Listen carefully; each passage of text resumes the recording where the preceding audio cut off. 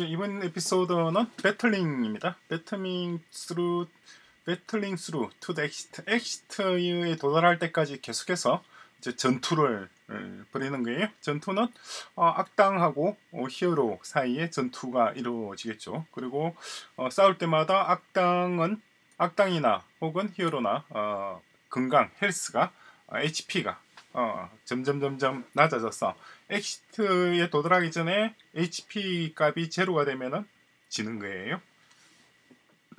자 그렇게 음, 구성을 합니다. 구성을 하는데 어떻게 구성되는지를 일단 보죠. 먼저 enemies를 만듭니다. heroes와 마찬가지로 똑같습니다. 똑같고 단지 이름만 달라요. 이름만 다르고 나머지들은 거의 대동소이하게 구성이 되어 있죠. 자 그래서 이 enemy와 그리고 히어로가 한 방에서 만나게 되면은 그러면은 전투가 이루어지도록 그렇게 구성을 하게 됩니다. 전반적인 흐름을 먼저 좀 말씀을 드리자면은 이, 이 그림을 다시 좀 수정을 했어요. trigger action 파트 기억나시나요? room에서 room에서 이남 random에서 room 임의의 어, random하게 room을 선택을 하고 그런 다음에 room action choice에서 start를 시작을 했죠. 그런 다음에 트리거 액션을 진행을 합니다. main에서 우리가 보는 화면이에요.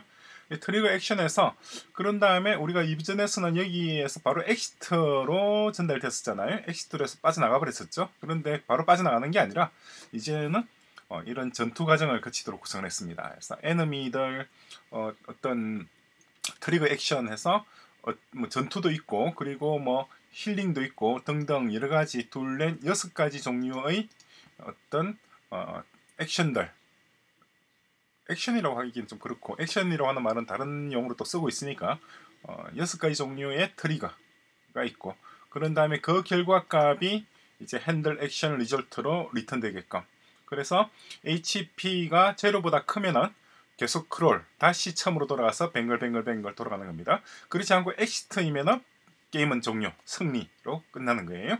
그리고 에너미 이 부분 이제 이 부분이 어, 악당하고 어, 영웅 히어로 간의 전투가 일어나는 것이고 이 에너미가 전투를 하는 데 있어서 필요한 모듈들을 배터리라고 해서 또 별도로 좀 뽑아놨어요. 굳이 뺄 필요는 없었는데 일단 여기서는 빼놓은 형태로 어, 구성을 했습니다. 그래서 구성을 보시죠. 먼저 좀 전에 말씀드렸던 내용 그대로입니다. 룸에 이번에는 트리거를 해서 trigger enemy도 있고 trigger exit도 있고 enemy hidden trap treasure 등등 있죠. 그래서 room에 trigger에 할당되어져 있는 trigger들의 종류가 다양합니다. 얘들을 run할 거예요. 그죠? 얘를 run해서 그 결과 값을 우리가 도출하는 겁니다. 그죠? 얘들을 run한다는 말은 무슨 말이죠? 먼저 트리거 EX에서 콜백 런을 우리가 이전에 세팅을 했었죠. 얘를 implement 해야 될 거 아니에요. 얘를 누가 implement 하냐니까 얘들이 다 implement 합니다. 여기 있는 6개. triggers에 있는. 그죠? enemy hidden도 implement behavior 해서 run implement 하고 있고 그리고 enemy에도 behavior dungeon crawl room trigger 얘는 누구예요? 얘는 여기 있는 얘, 얘를 말하는 겁니다. 얘죠 callback입니다. 얘를 enemy가 implement한 내용이고 exit도 implement하고 rest도 trap도 treasure도 다 같이 지금 behavior를 해서 다 implement run을 다 하고 있어요. 그래서 나중에 우리가 triggers room에 있는 triggers에 있잖아요. 얘를 run 시키게 되면 trigger run 하게 되면은 여기에 정의되어 있는 run 혹은 이 방이면은 이 방의 trigger에 정의되어 있는 trigger rest에 있는 run을 호출하는 겁니다. 어떤 의미인지 이해가 되시죠? 그러니까 이게 폴리몰피즘이잖아요. 여기 런 똑같은 런입니다만은 어 여기 이 방에서 실행했을 때의 런은 얘에 규정된 런이 실행될 것이고 이 방에서 런을 실행하게 되면은 여기에 규정된 이것이 실행되는 거죠. 그죠? 룸을 이제 아규먼트로 전달 받았을 때 그죠? 메인에서 보시면은 메인에서 쭉 hero choice start room, room start room, dungeon crawl, room start room 부분 있죠? 여기서 룸에 들어왔습니다. Enum random 하고 여기까지 봤었죠? 어, room action choice start trigger action 그죠? 여기서 뭐가 return되나요? 여기서 룸이 return되잖아요. 그죠? 룸과 액션이 return되죠? 그 룸과 액션이 여기로 들어가죠. 그죠? 그 룸과 액션이 들어가니까 거기 트리거 액션에게 전달된 룸에 따라서 trigger되는 액션의 종류가 달라지는 것. 이해되시죠? 그러니까 여기에 trigger action에서 room trigger run으로 전달되는 그죠? room trigger run trigger action이죠. 여기 start에서 전달되고 있는 뭔가가 여기로 전달되고 또 여기서 어, 전달된 뭐 여기에 전달된 값은 요거예요. 여기 전달 들어가는 여기 아기먼트로 들어갑니다. 요게 여기로 들어가는 거예요. 그렇죠? 그런 다음에 어, 여기 트리거 룸 내에서 요게 실행이 되고 실행될 때 각각 이 여섯 가지 중에 어느 하나가 선택되어서 실행이 되고 그 여섯 가지 중에서 하나의 결과값이 다시 핸들 액션 리절트로 전달되게끔 그렇게 구성됩니다. 전체 그림은 이해가 되시죠? 어, handle action result 전달되는 값. 네, 그래서 여기에 다시 한번 crawl, 다시 뱅글뱅글 처음으로 돌아가든가 아니면은 빠져나가든가 끝나든가 둘 중에 하나가 되는 거예요. 그런데 enemy 얘를 어, enemy가 사실 이제 run에서 전투가 이제 이루어지는 곳이 이곳인데 여기에 있는 세부적인 사항들 실제 싸우는 내용 있잖아요. dungeon crawl battle fight라고 돼 있죠. 이 부분은 별도의 파일로 뽑아놨습니다. 그 뽑아둔 것이 배틀이라고 하는 파일이에요. 지금 굳이 뽑아놓을 필요가 없을 것 같은데 왜냐니까 여기 있는 이 파일을 그냥 여기 에너미에다 다 담아도 돼요. 여기다가 그런데 왜 그런지 모르지만 뽑아놨습니다. 일단 뽑아놨어. 그러니까 두 개의 파일 에너미와 배틀 이두 개의 모듈이 하나의 동작을 구성하도록 그렇게 구성이 되어 있어요. 구성을 했어요. 그래서 battle에서 이제 이루어지는 것. battle은 요 이 두 가지 세 가지입니다. 첫 번째 fight.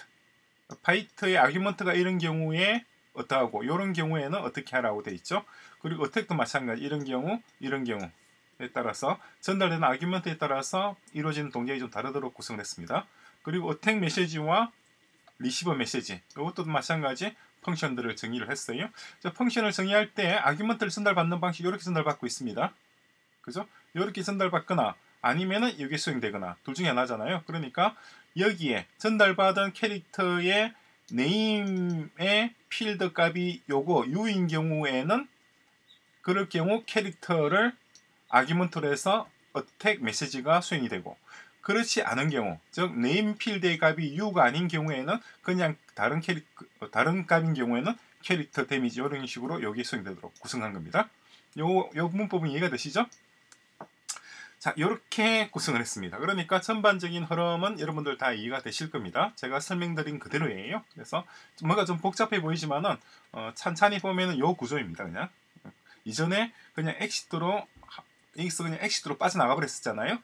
exit로 빠져나가는 게 아니라 어, 여섯 가지 중에서 어, 이전에는 무조건 하고 exit 하나만 있었는데 이번엔 여섯 가지 선택 가능한 옵션을 두고 어, 단지 조금 복잡한 부분은 이 enemy라고 하는 부분 전투하는 부분입니다. 전투 부분의 logic입니다. 그 부분을 두 개의 파일로 나눠서 설정을 해서 그래서 히어로와 enemy가 싸워서 어, 히어로의 HP 값 그러니까 히어로의 HP 어디 있나요? heroes 여기 있죠? 얘의 HP point 얘는 18이고 그 다음에 밑에 있는 애는 H hit point가 8이에요. 얘가 제로가 되면은 지는 거예요. 그죠? 얘가 제로가 되기 전에 값이 서로 다 다릅니다. 제로가 되기 전에 빠져나가는 exit에 빠져나가는 것이 승리의 관건이에요. 그리고 damage range에서 어 요걸 damage range에서 이 랜덤 값을 뽑아서 어 적과의 싸움에서 내가 입을 수 있는 피해액을 random하게 결정하도록 그렇게 구성을 한 거예요. 자, 전반적인 그림은 충분히 다 이해가 되셨을 겁니다. 자, 그러면 요 내용들을 어, 나머지 여기 지금 본문에 있는 책에 있는 내용은 제가 다 설명을 드렸어요. 그래서 코드를 보시면 충분히 다 이해가 되실 겁니다. 이게 마지막입니다. 자 마지막인데 어, 요 코드 이게 완성된 코드입니다. 완성된 코드이고 요게 파일이 dungeon crawl 그러니까 디자인 요 application에서 요, 요 파일이에요. 요게 완성 파일입니다. 요 완성 파일의 소스 코드를 보시고 혹시라도 이해가 안 되는 부분이나 논리적으로 좀 뭐가 이게 어떻게 연결되는지 좀 애매한 부분이 있으면 게시판에 질문 남기시면 돼요. 그러면 그 부분 따로 또 설명을 드릴 거예요. 자 그리고 완전히 이해가 되셨다. 어, 로직이 이해가 되셨다고 한다면 여러분들한테 굉장히 중요한 과제가 하나 어, 두 개가 전달됩니다. 어, 두 개의 과제가 있습니다. 자, 첫 번째는 지금 이 그림을 제가 이렇게 그려서 이 그림으로 이렇게 표현을 했죠. 쭉 전체 데이터의 흐름, 논리의 흐름을 어, 시트에다가 표현을 했습니다. 그럼 여러분들도 여러분 나름대로 이 프로그램의 논리적 흐름을 그림으로 한번 그려보시기 바랍니다. 이렇게 저하고 똑같이 그리실 필요는 없어요. 제가 그린 그림을 참조를 하되 여러분들 스스로 이런 그림을 한번 그려보시라는 것이 첫 번째 과제입니다. 과제 두 가지예요. 마무리하는 과제